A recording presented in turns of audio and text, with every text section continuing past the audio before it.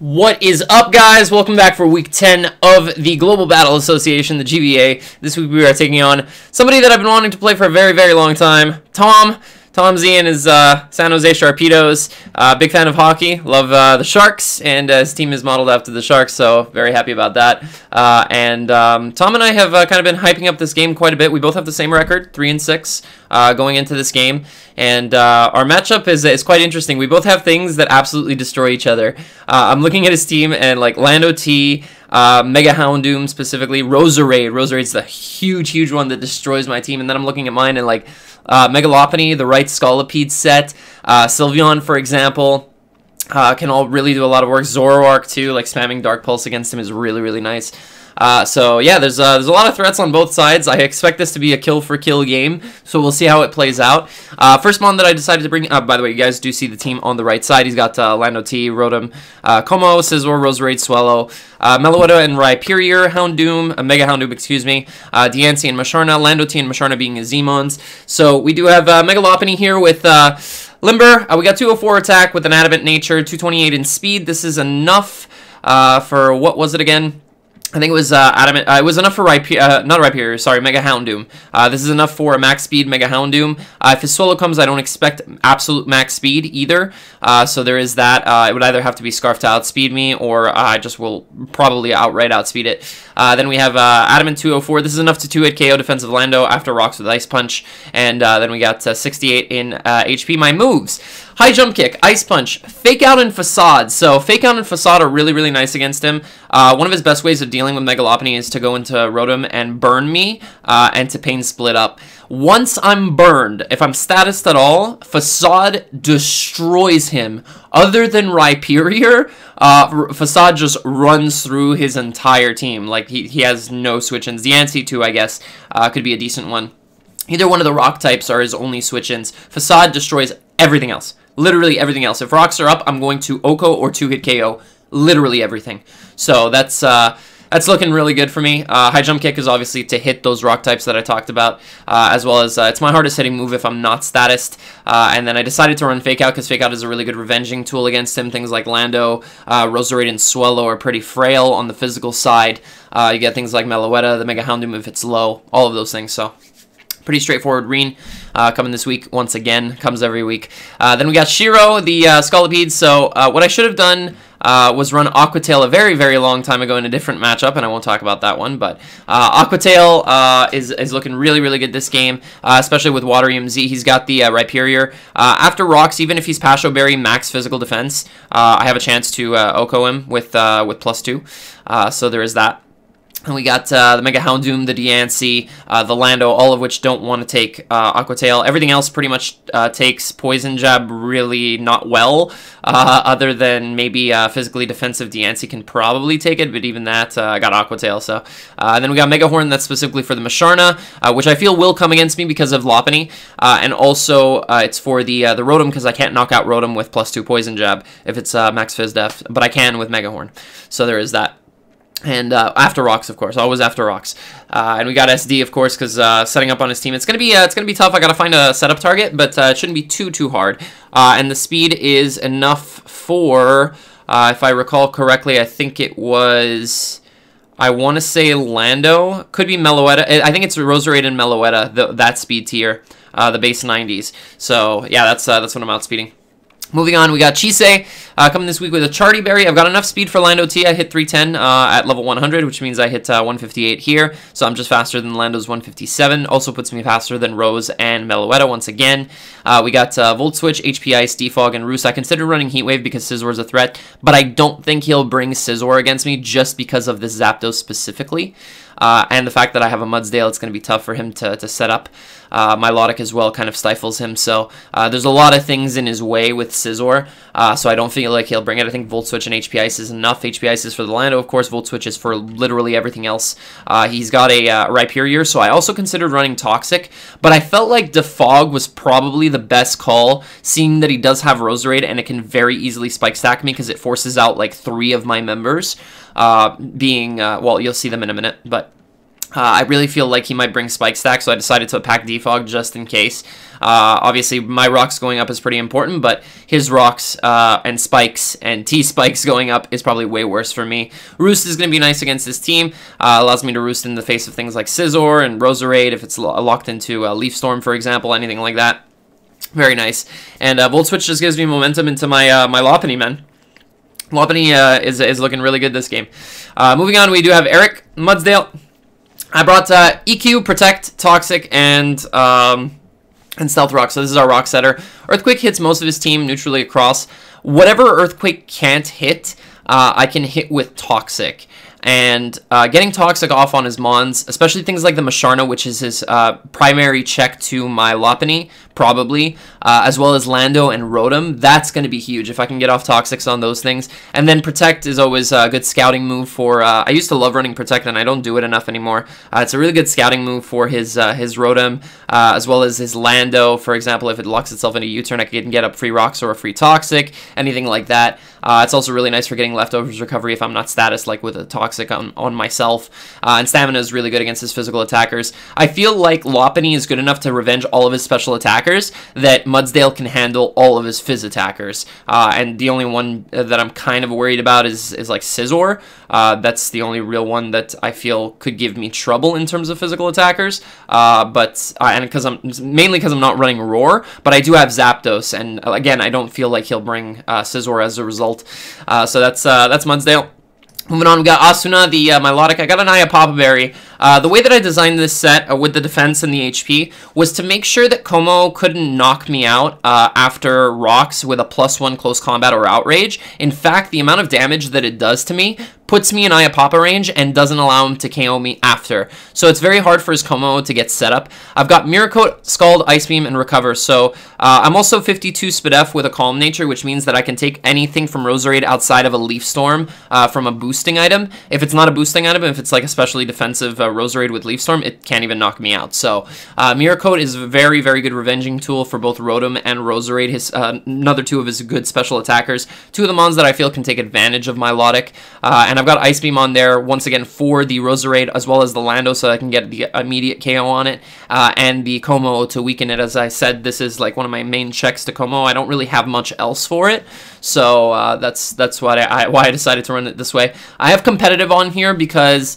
uh, he's got not only the Lando with the Intimidate, but he also has, uh, for example, Energy Ball with Roserade. If he gets a special defense drop on me, I want to be able to uh, to at least boost my special attack. Uh, that would be very nice and uh, other things like Meloetta, Shadow Ball, and Psychic. Uh, it's got a lot of dropping moves, which can help uh, Milotic gain some special attack at the very least. Uh, so that's looking really good. Uh, and again, I don't really need Marvel Scale against this team.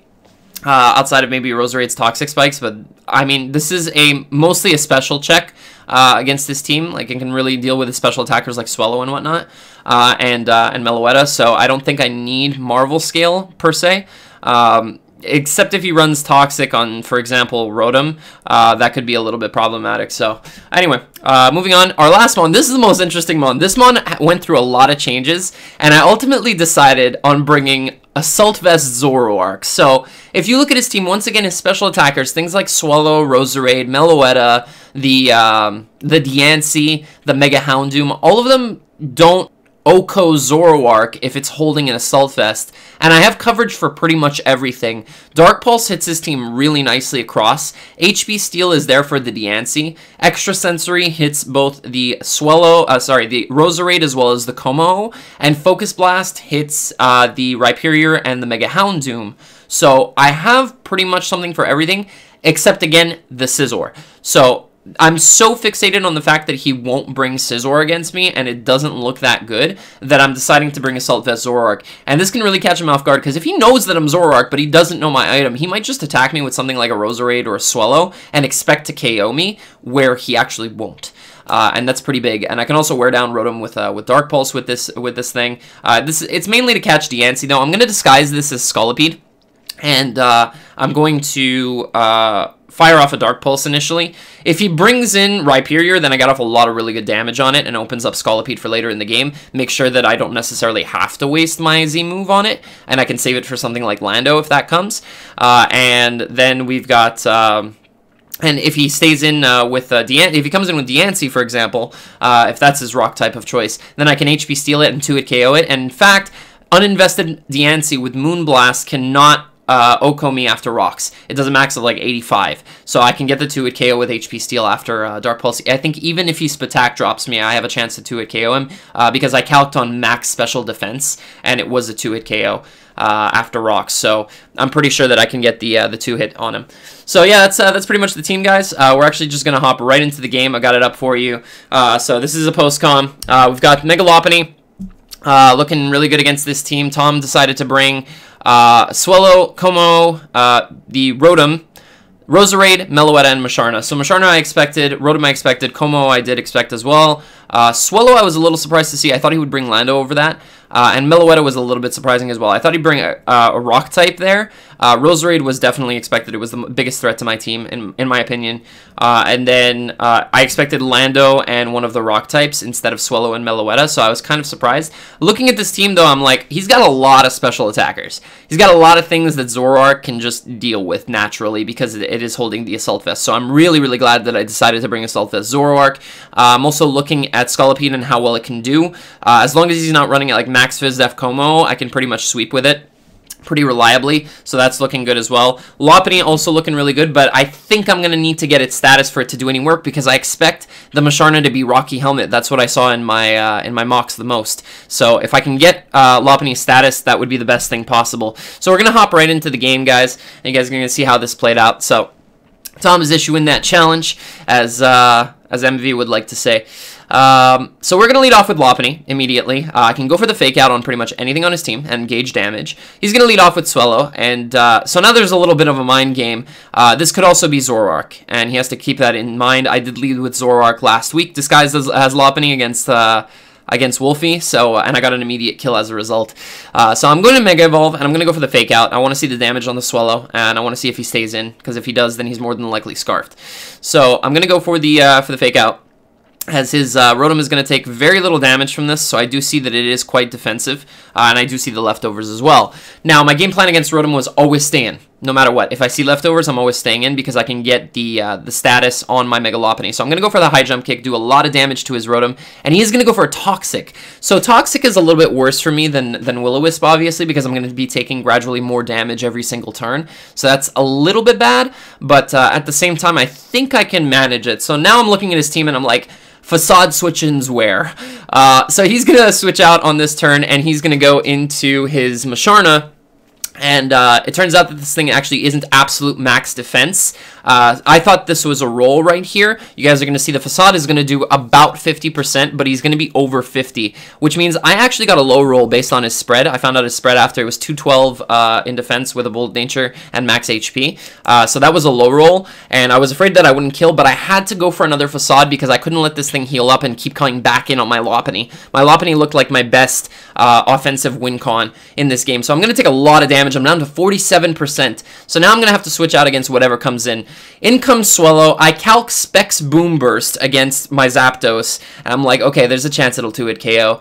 Uh, but I gotta go into it anyway. Uh, Zapdos isn't looking too useful this game, so he's gonna go for the Boom Burst, and I'm gonna see the damage. He brings me down to about um, 110, 110 HP, yeah, exactly 110, and I'm like, okay, that's actually Scarfed.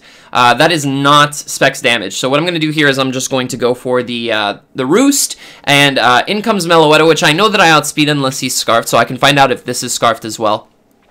Uh, right now, only his Musharna is down on his side. So I'm going to go for the Volt Switch. I'm going to get on out of here. I'm going to see the damage from the Volt Switch. I calculated it before I clicked it. And I see that it does about 12, 13%. And I'm like, this thing is very specially defensive. Uh, I know that it's very specially defensive. Zapdos should have done more. So I'm going to go into Milotic. He's going to go for the knockoff, and I'm like, oh, that's not good. I just lost my Iapapa Berry. His Como is going to be a big, big problem for me. Uh, he's going to go for a U-turn and he's going to uh, U-turn directly, I believe, into Rotom here. Uh, and Rotom is now going to be a huge nuisance because now it can heal up. I know it's got Pain Split. There's no way it doesn't have Pain Split uh, if he brought it in like this. It's because he wants to uh, to be able to heal up on whatever I, uh, I decide to go into. I considered going into Lopunny here uh, because as a result, I think uh, I would gain HP. Uh, but Rotom's HP stat is really, really low, so I don't think so. Uh, I think I would have ended up losing HP anyway. Uh, I'm going to go for a recover. I just didn't want the uh, the Rotom too high in HP, but I'm going to go for the recover here. I want to be healthy, and my my Milotic is now sitting at uh, 192 HP, which is really good because I can still take hits from that Swellow later, because this is also pretty specially defensive. So I'm going to get out of here, and I'm going to go into my Zapdos, knowing full well that he can Toxic me, and that could be a little bit of an issue later. But he's actually going to go for the sub, and I see sub, and I'm like, uh, that's not good. I'm in trouble, because whatever his offensive move is, uh, if it's, if it's, for example, Hydro Pump, he can 1v1 my entire team. So I'm going to Volt Switch out. I know that I break the sub. Uh, and I'm, in fact, I am going to break it here. And I'm going to go directly into Scolipede because I feel like his play is to Toxic here. Uh, but he actually makes a really nice play and he goes for another sub. Uh, so as a result, I'm not going to have my... I'm not going to have uh, my Scolipede in for free uh, because I do have to break the sub first. So he's going to go for uh, for the substitute. I'm going to go for the Poison Jab to break his sub. I do calc it. I do see that it does break the sub immediately. And we're going to break this thing. And if he decides to go for a pain split, uh, then I'm looking pretty good, which he actually does. He takes off a little bit of my health, and uh, I know for a fact that I can live anything but a Hydro Pump from here, including a Thunderbolt, uh, because he is defensive. So what I'm going to do here is I'm going to go for the Swords Dance, and it's looking like Scolipede can actually put in work uh, within the next couple of turns. So I'm going to go for the Swords Dance uh, as he decides to reveal his final move on his set. So we saw Sub, Pain Split, Toxic, and he is in fact Volt Switch. So this is fine. I'm like, okay, so he doesn't have Hydro Pump, uh, which is okay because he, the only way he beats my Mudsdale is by Toxicing it, but that's good enough because he has Sub. So that's going to look really bad. Zoroark kind of has to deal with the Rotom later. Uh, so I'm going to get the, uh, the Speed Boost right here. He's going to go into uh, Como. I'm at plus two. I'm going to go for the Poison Jab, and I'm going to see this damage. Um, it does, like, 45. Uh, or like 48. I get the poison, luckily, and he goes for a flamethrower. Uh, but this Como is very, very defensive. Uh, so I'm like, okay, well, I can't revenge it with Lopunny. Uh, Zoroark doesn't even do the trick with Extrasensory. I'm going to have to go into my Mudsdale, and I'm going to have to capitalize on this thing. Now, uh, going into Mudsdale, I had the idea that he will probably go into Rotom because he can take advantage of me and I don't have rocks up yet. Uh, but in fact, Tom decides to stay in and go for rocks. I predicted the Rotom coming in and went for a Toxic. Uh, not so much the Roserade because the Roserade wouldn't want to come in on an Earthquake, uh, but Rotom definitely could. And uh, he's going to take enough damage to where now he's now in range of Facade, so I'm not as worried about this thing. Uh, and I'm just going to get up my rocks at this point, uh, and really pressure his Swellow. Um, he's going to go for a Toxic of his own, though and that's going to wear down my Mudsdale, and that's going to be a little bit problematic. Uh, but I am going to take the uh, the Toxic just fine, and uh, I'm going to get up my rocks. And now they're up. So now I'm going to go for an Earthquake, and uh, he actually reveals his next move on his set, or his last move, rather, because we already saw Flamethrower, Rocks, and Toxic. His last move is Drain Punch, which is going to put him back out of range of another Earthquake, I believe. Uh, actually, no, two Earthquakes still take him out even after two Drain Punches because I get the Stamina boost. So I'll be fine. Uh, I'm going to get get off an Earthquake. He's going to go down to about, I believe, 15% uh, after the Earthquake and the Poison. Uh, because he is physically defensive, he can take this Earthquake, even though I am a Mudsdale and very, very strong regardless of no attack investment. Uh, and he's going to go down to, uh, yeah, about 15% after the leftovers and the poison. Now, the thing here is, I don't want to be in with Mudsdale because Rotom's a problem. So I'm going to switch out regardless of what he clicks. If he clicks Toxic, Flamethrower, Drain Punch, it doesn't matter. I'm not making a prediction here. I just want to make sure that I'm not in with Mudsdale as this thing goes down. So I'm going to switch out. I'm going to go into my Zapdos, which I know can revenge this with HP Ice. I could also choose to Roost, but I don't want my Zapdos to catch a Toxic. So he's going to go for Flamethrower.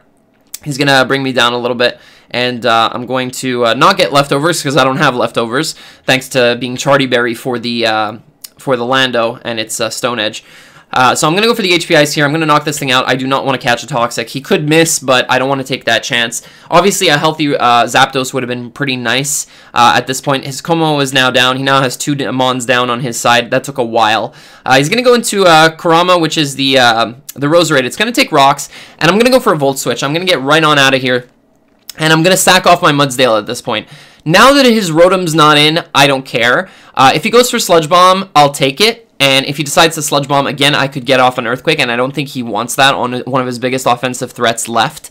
So he's going to go for the Sludge Bomb. I can obviously take this attack, and uh, it does a good amount of damage, but it's uh, it's not very effective, so I'm able to take the next one as a result. Uh, and he has to uh, kind of be wary of Earthquake slash uh, Toxic. So I'm going to fire off a Toxic, again, because I don't want the Rotom coming in for free. Uh, and we are going to catch a Giga Drain right here, and I'm really glad that I saw Giga Drain, because this pretty much tells me that the Roserade is more than likely not uh, carrying Leaf Storm, and this is going to be pretty big for later in the game. So now I'm going to go into my Lopunny, and uh, I'm going to see right here, my HP goes down from 47 down to 38 from rocks. So keep that in mind. I'm going to go for the Facade because nothing on his team takes it, and he actually decides to sack off his Rotom, which I was really surprised about. Uh, I did not expect this thing to come in and be the sack. Facade is easily going to take this thing out. It's stronger than uh, than High Jump Kick. Down goes the Rotom, and I'm going to take a little bit of Toxic. Take another 9%, uh, 9 HP once again, excuse me. Same as the Rocks. So now the Swellow comes in. The Swellow is obviously a little bit of an issue, but this is why I kept the Milotic so high, was because I know that the Swellow is not specs and I can switch into Asuna, I can take the Boom Burst, I can take whatever he goes for, and then I can just recover it off. And right now, because his Rotom is now gone, I don't have to worry about him getting up a sub, toxicking, and pain splitting everything. So I was actually really surprised that Tom sacked his Rotom. He's going to go out into his Roserade, and because I saw Giga Drain earlier, uh, and I actually looked away from my DS uh, when uh, when he went from, from for Giga Drain, it's only because I saw him recovering health that I knew it was Giga Drain. But because I saw that, I know he probably doesn't have Leaf Storm. So what I'm going to do here is I'm just going to pull the trigger. Finally this season, I pulled the trigger at the right time. He goes for Giga Drain, and down goes the Ros Roserade because we click Mirror Coat. Boom! Goodbye, Kurama. And uh, now all that's left is the Meloetta and the Swellow. So Swellow's still looking like a, like a pretty big threat. I can still take a Boom Burst with Zoroark, so that's a really, really good thing. Uh, however, the Meloetta is... Um, is probably Assault Vest, so it can probably take two Dark Pulses from my Zoroark, so that I'm kind of worried about. Uh, I'm going to let my Milotic go down here to the uh, to the Swellow, as uh, now I'm going to get in my Zoroark, uh, and I'm going to go for a... Um, for Dark Pulse. So this is actually Zoroark, it's not Zapdos, obviously. And I know that I can take a Boom Burst, so I need to force out the Swellow. I need to put it in range of Fake Out uh, from my Mega Lopunny, which does max 47. So He's going to go into his Meloetta. He's going to take rocks again. And I'm going to see that this Dark Pulse actually bounces off. This is crazy. Uh, the Meloetta has a chance to live the next one. So I'm like, all right, you know what? I'm actually going to get out of here. I'm going to go into my Zapdos. I'm going to sack it off. And because I've been monitoring my Lopunny's HP, I know for a fact that I have two switch-ins. Uh, including one round of Toxic. So I'm going to go into Lopunny after my Zapdos goes down to the Hyper Voice. Uh, I'm going to go into Reen here. And uh, if I would have uh, known that he, he was going to go for a Hyper Voice, I would have just stayed in with Zoroark because I knew I outsped and a Hyper Voice wouldn't have killed me. Only Focus Blast would have, but I couldn't risk the Focus Blast.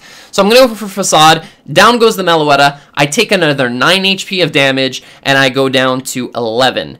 And now he's going to bring back in the Bird. Now, I could stay in and just win with Zoroark. The problem is, if he crits Boom Burst on my Zoroark, I lose. I don't have Sucker Punch. So I'm going to get out of here. I'm 100% convinced this thing is scarfed. I have had no confirmation of this yet, but I'm 100% sure it's scarfed. So he's going to go for Boom Burst. I'm going to see the damage once again on the Zoroark. Uh, what I was worried about the most was Protect from this thing on my Fake Out, and then I would die to Toxic on my Lopunny. But he's going to go for another Boom Burst. Down goes my Zoroark, and Lopunny is going to come back in at 2 HP and be able to revenge the Swellow with Fake Out and we are going to win this game 1-0 against the San Jose Sharpedos. Tom, what an amazing game. Honestly, it's so sick.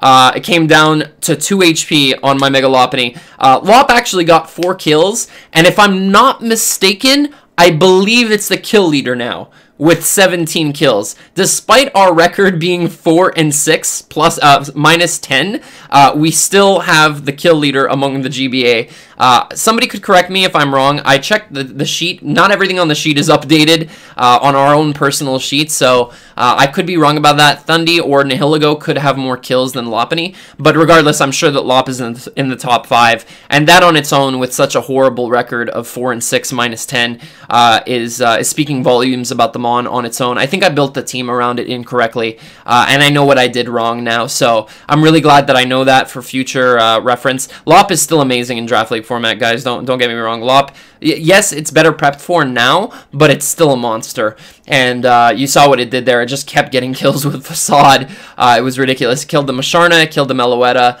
uh, the Rotom, as well as the Swellow. So I believe Milotic and Zapdos got the other two kills with HP Ice and Mirror Coat. So Mirror Coat was was a huge, huge play. Wonder if that's going to be in top plays this week. But uh, really great game to Tom. Guys, definitely go and check out Tom. Tom's an awesome guy. I talk with him all the time.